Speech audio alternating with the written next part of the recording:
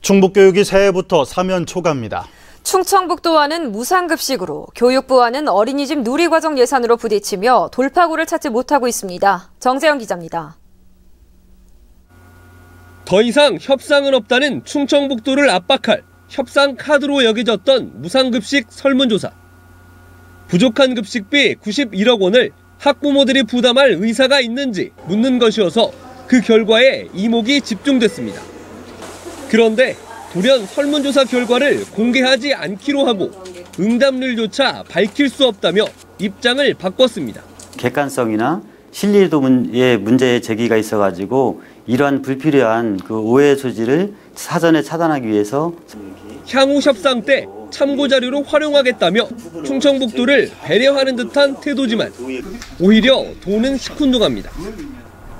어린이집 누리과정은 산 넘어 산입니다. 정부의 감사 예고에 이어 운영 차질이 불가피해진 어린이집들까지도 감사 청구를 위한 서명 운동에 돌입했습니다. 중앙정부는 또 돈이 있다. 지방교육청은 없다. 우리는 있는지 없는지 모르잖아요. 아무것도 없잖아요. 할 수 있는 게.